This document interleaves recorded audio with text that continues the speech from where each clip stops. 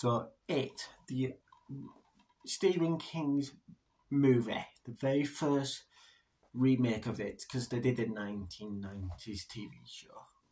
So this is a really good spooky horror film. It's based on a book, and it's and it's set during 1989 and then they tease at the end. It says it chapter 1 so chapter 2 will be on my video very soon. And I'll see you all in my next one. Bye for now